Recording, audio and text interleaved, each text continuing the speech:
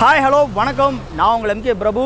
தொடர்ந்து நம்ம சேனலில் பள்ளிப்பாளத்தை ஒட்டி நடக்கிற பல விஷயங்களை பார்த்துட்ருக்கோம் அப்பப்போ நடக்கிற விஷயங்கள் நம்ம பள்ளிப்பாளத்தை ஒட்டி நடக்கிற ஒரு சில திருப்தி இல்லாத அதாவது பார்த்திங்கன்னா பிரச்சனைக்குரிய விஷயங்களையும் நம்ம சேனலை தொடர்ந்து பார்க்குறோம்.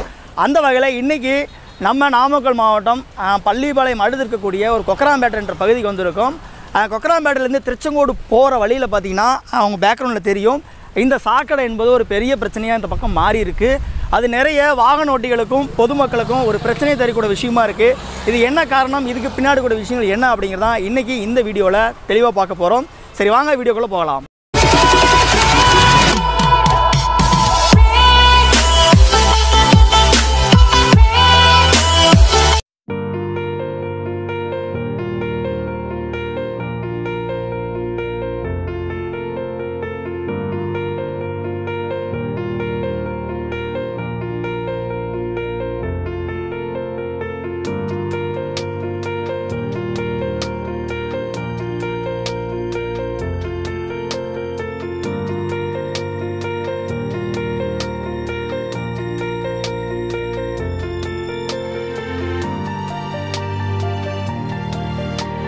ஸோ இந்த வீடியோ கிளிப்பில் ஒரு சில விஷயங்கள் நீங்கள் தெளிவாக பார்த்துருப்பீங்க. முன்னே நான் சொன்னேன் எக்ஸாக்டாக இந்த இடம் எங்கே இருக்குன்னா நாமக்கல் மாவட்டம். பள்ளிப்பாளையம் அடுத்து ஒரு பத்து கிலோமீட்டரில் கொக்கராம்பேட்டை அதாவது திருச்செங்கோட்டிலேருந்து பார்த்தீங்கன்னா உங்களுக்கு தெரியும். அந்த ரூட்டில் இந்த இடம் இருக்குது இந்த இடம் பார்த்திங்கன்னா வாகனங்கள் அதிகமாக போகக்கூடிய பகுதி. இந்த பக்கம் இருந்து ஈரோடு தாண்டி இந்த கரூர் மற்ற இதர பகுதிகளுக்கு இந்த வழியாக தான் சரக்கு வாகனம் மற்ற வண்டி எல்லாமே போயிட்டுருக்கு அவ்வளோ பிரதானமாக இருக்கக்கூடிய இந்த பகுதியில் கொக்கராம்பேட்டையிலேருந்து கிழக்கு தெரு அப்படின்ற ஒரு பகுதியில் பக்கத்தில் பார்த்தீங்கன்னா ஒரு மதுரை வீரன் கோயில் இருக்குது அதுக்கு ஆப்போசிட்டில் பார்த்தீங்கன்னா இந்த அளவுக்கு பார்த்தீங்கன்னா இந்த மாதிரி சாக்கடை பிரச்சனை ரொம்ப பெரிய அளவுக்கு இருக்குது இங்கே இருக்கக்கூடிய பொதுமக்கள் என்ன சொல்கிறாங்கன்னா இரவு நேரத்தில் வாகனங்கள் வரும்போது சப்போஸ் இந்த பகுதியில் இறங்கிடுச்சின்னா கண்டிப்பாக மீளவே முடியாது. அந்த அளவுக்கு உள்ள நிறைய ஆழமான பகுதி இருக்குது அப்படின்றாங்க. அது மட்டும் இல்லாமல் கார்த்தியாங்க காட்டுங்க. அது மட்டும் இல்லாமல் அந்த பக்கம் பார்த்தீங்கன்னா கொஞ்சம் மண் அள்ளி போட்டிருக்காங்க. அதை நீங்கள் பார்க்கலாம்.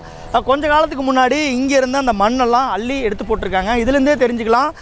இந்த பகுதியில் எவ்வளோ ஆழமாக இருக்குது அப்படின்ட்டு இதில் என்ன சிக்கல் அப்படின்னா நீங்கள் கேட்கலாம். என்ன காரணத்துக்காக இன்னமும் இந்த சாக்கடை இன்னும் சரி செய்யப்படாமல் இருக்குது? ஏன் ஒரு ஒழுங்கான பராமரிப்பு இல்லை அப்படின்னு ஒரு கேள்வி கேட்கலாம். அப்படின்னு உங்களுக்கு ஒரு கேள்வி இருக்கலாம். இந்த இடம் எக்ஸாக்டாக பார்த்தீங்கன்னா ஒரு பார்டர் பகுதியில் இருக்கிறதுனால அதாவது கொக்கராம்பேட்டைக்கும் பக்கத்தில் பார்த்தீங்கன்னா பாப்பம்பாளையம்னு ஒரு பகுதி இருக்குது அந்த பகுதியோட எண்டில் தான் இது இருக்குது. இவங்க என்ன சொல்கிறாங்கன்னா இங்கே இருக்கக்கூடிய ஒரு சில சமூக ஆர்வலர்கள் கூட என்ன சொல்கிறாங்கன்னா இது ஒரு எல்லை பிரச்சனை காரணமாக நீங்கள் செய்யுங்க இல்லை நாங்கள் செய்யுங்கன்ற மாதிரியும் நெடுஞ்சாலைத்துறைகிட்டையும் கவனம் இல்லை அப்படின்ற மாதிரியும் சொல்கிறாங்க மொத்தத்தில் எது எப்படி இருந்தாலும் இந்த மக்களோட பிரதானமான கோரிக்கை என்னென்னா இது செய்யக்கூடியது எந்த நிர்வாகமாக இருந்தாலும் சரி அது இந்த பகுதியில் இருக்கிற பாப்பம்பாளையம் ஊராட்சியோ கொக்கராம்பேட்டை ஊராட்சியோ நெடுஞ்சாலையோ எங்களுக்கு இந்த சாக்கடை சரி செஞ்சு தரணும் அப்படிங்கிறது இந்த பொதுமக்களோட கோரிக்கையாக இருக்குது. சட்டப்பூர்வமாக அரசாங்கம் இந்த சாக்கடை பிரச்சனைக்கு என்ன தீர்வை சொல்ல போகுதுங்கிறத நமக்கு இது வரைக்கும் தெரியல. இது மட்டும் இல்லாமல் இன்னமும் நம்ம கவனமாக பார்க்க வேண்டிய விஷயம் என்னென்னா இந்த இடத்துல இருந்து ஜஸ்ட் ஒரு ஐம்பது மீட்டரில் அரசு பள்ளிக்கூடம் என்பது இருக்குது. அங்கே ஏகப்பட்ட மாணவ மாணவர்கள் படிச்சுட்டு இருக்காங்க. இந்த கொரோனா காலத்தில் பள்ளிகள் விடுமுறைன்றதுனால இந்த ஒரு பிரச்சனை பெரிய அளவுக்கு இல்லை. ஒருவேளை இந்த பகுதியில் அந்த மாணவர்கள் கிராஸ் ஆகும்போது அல்லது மழைக்காலங்களில் யாராவது உள்ளே விழுந்துட்டா கூட தெரியாத சூழல் என்பது தொடர்ந்து இருக்குது. கிட்டத்தட்ட ஒரு இருபது வருஷத்துக்கு மேலாக இந்த பிரச்சனை நீடிக்கிறதா இங்கே இருக்கக்கூடிய சமூக ஆர்வலர்களும் பொதுமக்களும் சொல்கிறாங்க ஸோ அரசாங்கம் என்ன நடவடிக்கை எடுக்க போகுதுன்னு சொல்லி தெரில பட் இருந்தாலும் இதுக்கு ஒரு நிரந்தர தீர்வை தரணும்.